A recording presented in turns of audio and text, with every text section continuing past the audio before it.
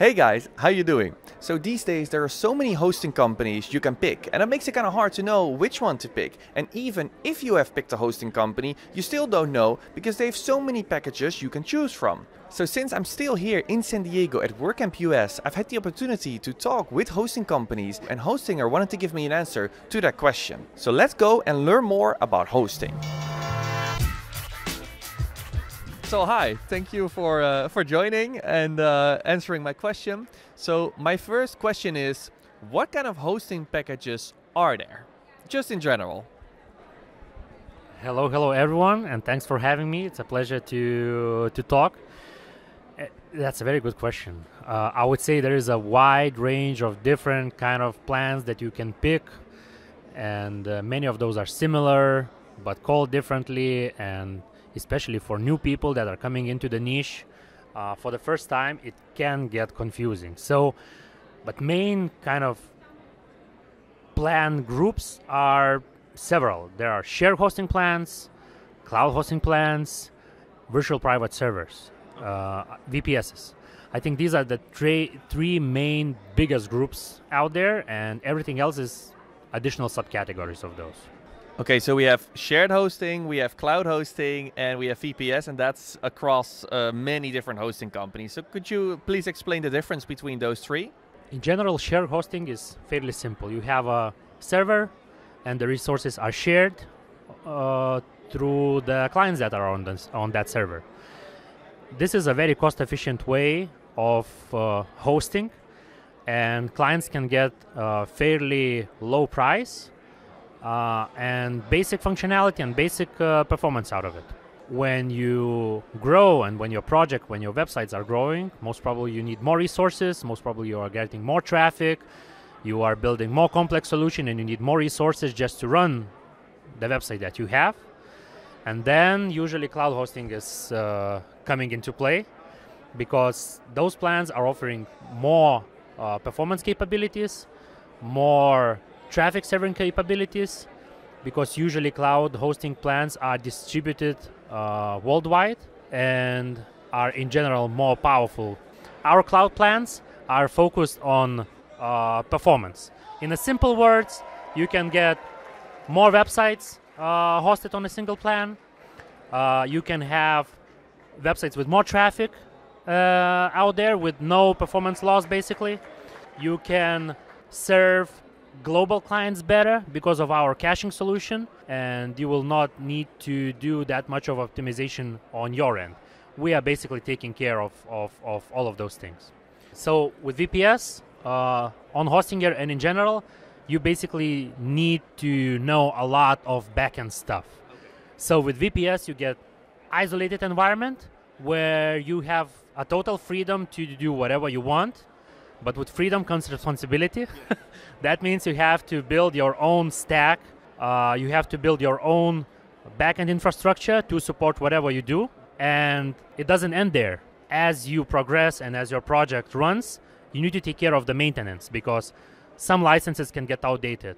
Some plugins may become outdated. In some cases, it can break uh, other systems that you use. So you need to be really sure that either you know what you are doing or you need to be really sure that you want to learn how to do it. okay, so from what I understand from your explanation, like for my audience who is more like design focused and we don't have a coding background, maybe the VPS is a little bit too high of a level, uh, but cl cloud hosting is really a step up compared to the normal cheapest plans that uh, that that you guys have. Uh, you are absolutely correct. Uh, how I would recommend to approach this is if you're not sure, just pick whichever plan you want. You can start with the entry level plan. And as you use it, uh, you will see your plan usage, you will see upgrade recommendations if you will end up running out of some resources. And that's it, it's very simple. Okay, thank you. I think that's really clear. I want to take a moment to look at what Hostinger is offering because there are some things on the website that I don't really understand the difference in. And I get to these three levels, but let's just take a look. So if we are here on the website, uh, the we have this tab over here and it's web hosting, well, cloud hosting. Those are the, the things that we talked about. But there's also WordPress hosting and hosting for agencies. And when I just go to web hosting and I just scroll down to the plans, I just see one website and 100. Also 100 with a little bit more resources uh, for two, three, and four dollars. And then I go to WordPress hosting, scroll down, and here it starts at two, three, and four. And it kind of looks like the same because, you know, this is WordPress managed. But if you go to web hosting and you scroll down, you also see manage WordPress hosting over here. So is this the same? Is it just a landing page for uh, marketing purpose, to be honest? Thanks. Uh, very good feedback and uh, really good question. So thank you, thank you for asking this. In a sense, yes, and a little bit no. So in general, all of our plans, doesn't matter shared or WordPress plans, are optimized for WordPress performance. And uh, the main difference between shared web hosting plans, which you already showed, and WordPress hosting plans is that for WordPress hosting, we are releasing WordPress WordPress specific features earlier, and in some cases we have some really really like niche features only on WordPress hosting plans. So, for example, staging environment. It's a small niche functionality, but some of our clients really want that, and it really works with WordPress. So we have those on uh, WordPress plans. When it comes to the backend and overall performance of, the, of WordPress, it doesn't matter whether you pick shared web hosting plan or WordPress hosting plan. So that's one thing. Another thing, yes, it is. It, it helps us kind of to categorize web hosting plans because we we receive a lot of questions from our audience, and there are many people who are searching for WordPress hosting or for agency hosting, for example. So this is our way of showing them how our plans are working in these kind of conditions for these kind of use cases. Okay, well, thank you. That that clears it up a lot because that was not clear for me on the website.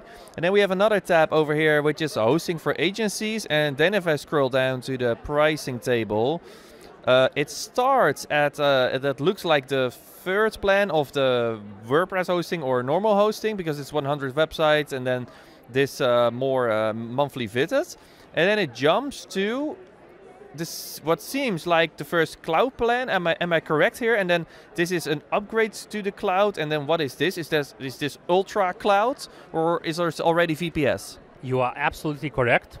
Uh, so these plans are based on the plans that you mentioned.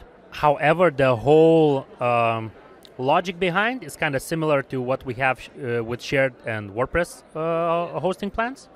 So uh, there are small uh, features that are built only for agency plans, for example, access management. And uh, these plans are based on shared and cloud hosting plans, but as you can see, like they start from uh, from a from a bigger and uh, more powerful plans because this is what we see what uh, agencies require. Uh, and also, how we use these plans is that we are able to identify our agency clients versus big private clients, for example. So we are able to ship features directly to them. So, for example, from the backend perspective, Agency Cloud is uh, our cloud hosting plan. But on top of that, we are shipping features just for agencies, and we are able to identify in this way where we should ship what feature. Uh, and the final thing is that we see a big amount of people just searching for the agency hosting plans. So this is our tribute uh, to them. Uh, we're basically sharing an information and use cases on how our hosting plans can be used if you are an agency. Okay, thank you for that answer. And another thing that I uh, see a difference in is that with this uh, plan, uh, you don't see things like RAM and CPU cores, uh, which are terms that I only know when I try to build my first computer. So why is that not on that that first plan and only from from Cloud Up? Honestly, I think we just missed the tooltip. Oh, okay. so that's one thing. I have to double check that.